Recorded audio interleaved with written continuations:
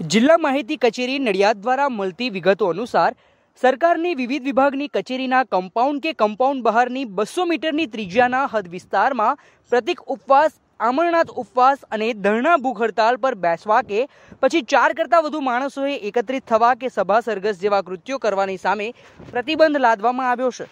આ હુકમમાં અપવાદ રૂપે જે લોકો છે તેમાં તેવા માણસો કે જે સરકારી નોકરીમાં અથવા કામગીરીમાં હોય, જેઓ ફરજ ઉપર હોય તેમને તથા મરણોત્તર તેમજ લગ્ન અંગેના સરઘસને લાગુ પડશે નહીં.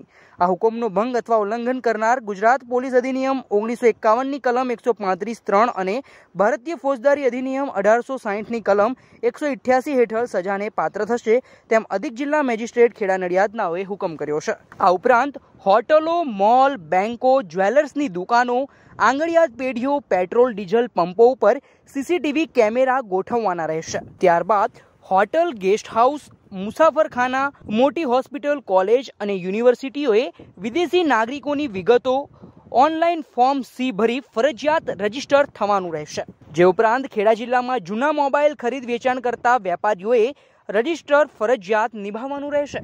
વાહનોની લેવેચ કે ભાડે આપનાર વેપારીઓએ ગ્રાહકો પાસેથી પૂરતા પુરાવા લેવા પડશે. આ તમામ હુકમ તારીખ સાતમી જૂન બે હજાર એકવીસથી તારીખ છઠ્ઠી ઓગસ્ટ બે હજાર એકવીસ સુધી બંને દિવસો સુદ્ધાંત આ હુકમનો ભંગ કરનાર વ્યક્તિ ભારતીય દંડ સંહિતાની કલમ મુજબ શિક્ષાને પાત્ર થશે, તેના ભંગ બદલ પણ કાર્યવાહીને પાત્ર ઠરશે.